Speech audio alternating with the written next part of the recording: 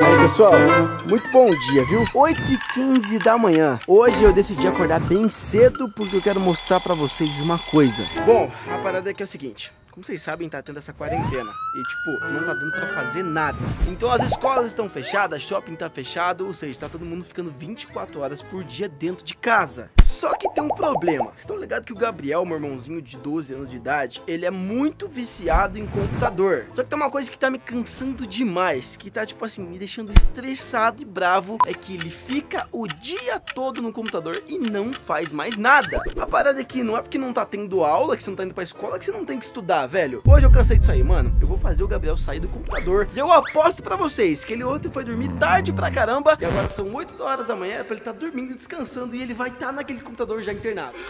Eu tô fazendo uma promessa. Se o Gabriel tiver no computador essas horas jogando, eu vou abrir o site da escola dele e vou pegar um monte de atividade para ele passar o dia inteiro hoje estudando. Só para compensar todo esse um mês, já que ele tá em casa sem fazer nada. Pior é ficar 24 horas por dia no computador.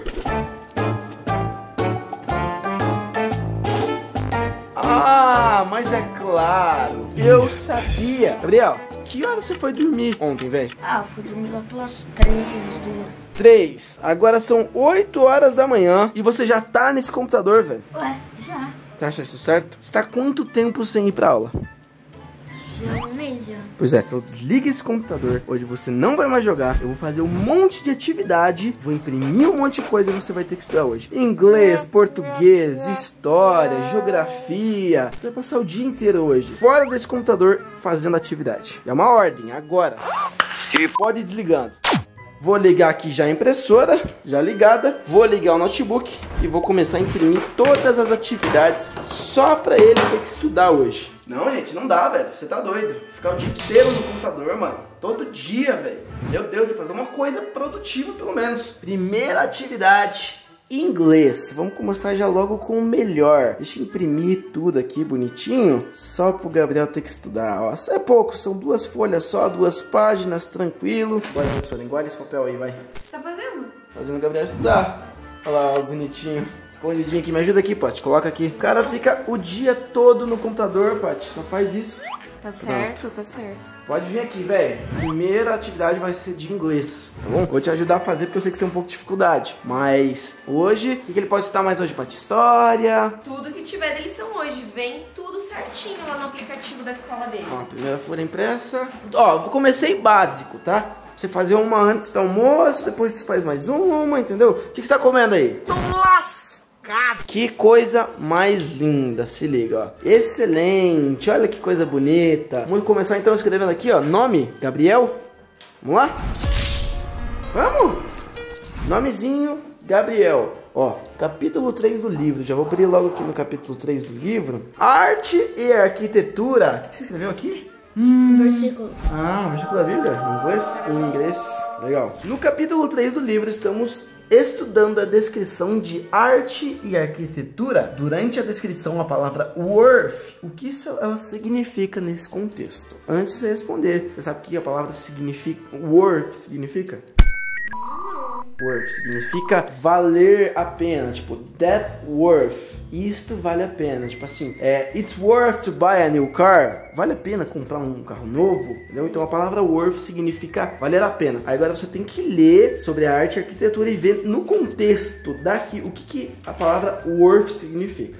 Beleza? Quando você vai dando uma estudadinha aí, eu vou falar uma, uma, uma, coisa lá pra mãe e aí eu já volto a falar com vocês, tá? Eu vou ficar aqui. Isso, fica sondando. É. Sério, gente, eu me sinto um pai, tá ligado? Fazendo essas coisas. Eu gosto, eu acho que o Gabriel precisa. Como o pai do Gabriel e minha mãe são separados, eles já foram casados, mas hoje em dia são separados, é um pouco complicado, porque o, o pai ele fica acaba ficando um pouco longe do pai dele, tá ligado? Então, assim, às vezes quem tem que ser o pai do Gabriel sou eu. Mãe. Oi. Hoje o Gabriel acordou nada mais nada menos que 8 horas da manhã e foi direto fazer o quê? Computador. Computador. E garanto que ele tem lição pra fazer, não tem? Tem. Eu fui lá, desliguei o computador dele e ele já tá estudando. Ah, muito bem. Gostou? Obrigada, João. Por nada, Eu mãe. Você me ajuda bastante com isso. Tá, então hoje a regra é, ele não pode jogar no computador, você não deixa ele entrar no computador enquanto ele não terminar as atividades. Vai fazer de inglês, de português, acho que matemática e história, tem alguma coisa assim lá pra fazer. Ah, então tá bom. E eu tô sabendo que já já ele vai ter prova também. Vai ter prova? Então tem que fazer ele estudar, mãe. O bom da escola do Gabriel é que tem eles estão mandando atividade pelo site, tá ligado? Então assim, o Gabriel tá conseguindo estudar pelo menos. E se você não ficar cobrando ele, não ficar em cima, ele não faz. É mesmo? O que o cachorro tá fazendo, mãe? Tá pegando a ração dos peixes? Como é que ele não cai no lago? Ele fica comendo a ração dos peixinhos? Meu Deus! Cachorro burro, velho! Então tá, mãe, já sabe da regra, né? Aham. Ele falou, ai, quero jogar, depois eu faço. Ah, tá doido? Não, valeu, João. Obrigada Tá bom. por me ajudar nessa parte, viu? Por nada. Como a minha mãe é muito boazinha, ela acaba caindo na lábia do bichinho, né? Ele fala assim, mãe, tô cansado, tô com dor de cabeça, vou dormir um pouco, depois eu faço. Nada disso. Hoje ele só levanta a bunda daquele lugar ali pra almoçar, tá? E depois pra, né, quando ele terminar de fazer a atividade. Enfim, vamos voltar lá e ver se ele tá fazendo direitinho. Ele tem um pouco de dificuldade em inglês. E eu, como sei bastante, vou ajudar ele. E aí, Gabriel, conseguiu fazer a primeira? Consegui, significa valer a pena. Ué, é o significado? Tem certeza que é isso? Sim, ele é tipo aqui, ó. Bilbao é uma cidade, então, é, Bilbao tinha uma má reputação, mas vale a pena ir pra lá, vale a pena viajar pra lá, Entendi. entendeu? Ah, esse aqui diz que As, exibi as exibições Ah, tá dizendo Da- aqui que. da- É, eu acho que é isso mesmo, tá dizendo aqui que. Que não era muito interessante, mas a arquitetura valeu a pena. Tá, tá certo, então valeu a pena. Tá certo. Tá, e agora eu já tô fazendo esses daqui, ó. Tá, a segunda é o que? No capítulo 3 do livro, alguns adjetivos são utilizados para descrever os lugares. Abaixo temos definições de alguns deles, completos com objetivo. Not involving in war or violence. Não se envolver numa guerra ou em violência. O que, que isso significa? Isso. Tipo assim, aquele, esses que estão circulados em quadrados são os lugares. Entendi. E os que estão sublinhados São os adjetivos. são os adjetivos. Legal. No caso, ó, crowded, modern, clean, Entendi. peaceful, empty. Tá, então very old, o que que é muito antigo? Muito antigo é hum, ancient. Ancient, exatamente. Not dirty, não, não é sujo. O que, não é sujo? Clean, limpo. Especially when you don't know what is going to happen next. É interessante para ação, especialmente quando você não sabe o que vai acontecer. Uhum. Isso? É, hum, cadê? Será que não é. hum, Exciting. Exciting é tipo, esse. É tipo assim, tá dizendo ali que quando você não sabe que vai acontecer algo, você fica tipo, caramba, preciso logo acontecer. Ansioso, exatamente. Exciting, ansioso. Tá, próxima. Contém no people. Tipo, não tem ninguém. Não tem ninguém. Empty. Empty, vazio. Certo. Boa, Gabriel. Tá mandando bem. Use, using new styles that are very different from the styles of the past. The past. Usando novos passados, usando novos estilos, diferente é, dos estilos do passado, Isso. é modern. Moderno, isso, que né. Próximo, olha a imagem e descreva o lugar utilizando pelo menos dois adjetivos do capítulo 3. Entendeu? Então você tem que olhar essa imagem aqui e usar esses adjetivos, tipo assim, this place is very clean. Esse, esse lugar é muito This limpo. place is very modern. Modern, She's, she's look, looks like a um, peaceful. peaceful place, parece um lugar, né? Parece um lugar calmo, tranquilo, mas não é she.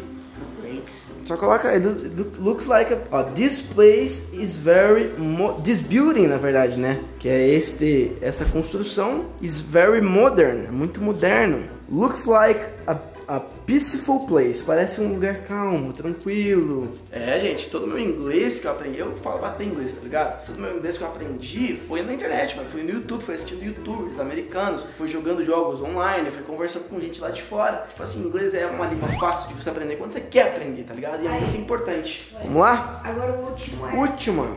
Encontre 10 palavras que descrevam lugares em inglês. Então tem que. O que, que é? Violent. Violent. Boa. Tem. O que mais? Ancient. Ancient. Boa, Gabriel. Isso aí. É só achar, sublinhar as palavras que tem.